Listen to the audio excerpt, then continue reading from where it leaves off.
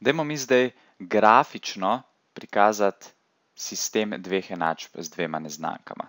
Se pravi, rešitev sistema je, da poiščemo x in y, se pravi, da ugotovimo, kje se te dve enačbi sekata in če se sploh sekata. Dajmo najprej v eksplicitno obliko spraviti tole prvo enačbo, se pravi 5x plus 3, ali pa bom takole v barvi naredil, da bomo vedeli, za kere enačbe gre. 5x plus 3y je 7, 3y je minus 5x plus 7, y je minus 5 tretjin x plus 7 tretjin. Prav tole je eksplicitna oblika prve, dajmo zdaj še drugo, 3x minus 2y je 8, se pravi imamo minus 2y je minus 3x plus 8. Vse zdaj delim z minus 2 in dobim y je 3 polovice x minus 4. Pa bom zdaj narisal najprej tole. Se pravi, označamo si, tukaj imamo ordinatno os y, vodoravna os, vemo, da je abscisna os x. In imam dve enačbe v eksplicitni obliki. Dajmo najprej narisati tole. Pri minus 4 bomo sekali tole našo, tole našo y os in naš k je 3 polovice, kar pomeni sprememba y ulomljeno sprememba x.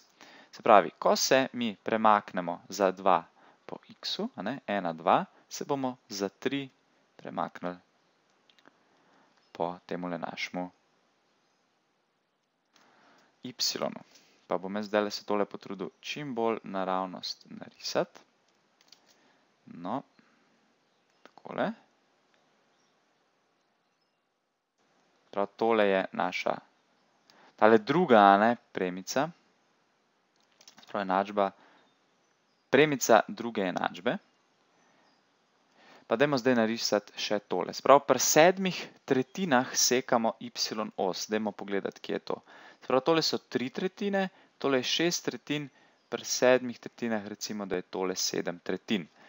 In imamo minus pet tretjin x. Se pravi, ko se po x-u premaknemo za tri, se bomo po y-u premaknili za pet navzdol. En, dva, tri.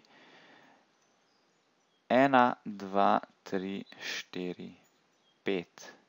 Prav takole nekako izgledajo tele naše tele naše premice. In zdaj, če sem jaz tole dobro narisal, bi moglo presečišče biti nekje v tem četrtem kvadrantu. Kaj to pomeni? To pomeni, da bo naša točka, presečišče, da bo x bo pozitiven, bo plus x, y bo pa negativen.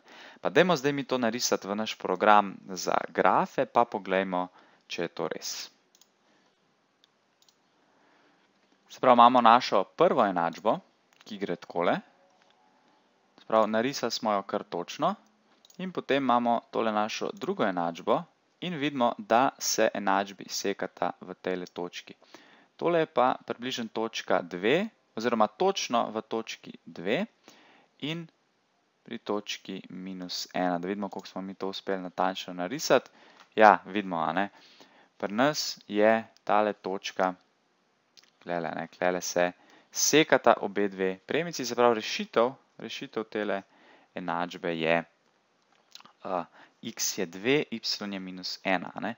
In to lahko mi preverimo tudi tako, da tole točko vstavimo v katerokoli izmed teh dveh enačb. Sprav, če klele rečemo 5 krat 2 je 10, minus 3 krat minus 1 je minus 3 je enako 7. In res 10 minus 3 je enako 7. Enako, če vstavimo v tole drugo, če dobimo 3 krat 2 je 6, minus 2 krat minus 2, sprav, to je plus 2 je enako 8. In 6 plus 2 je 8. Sprav, tale točka reši sistem telih dveh enačb.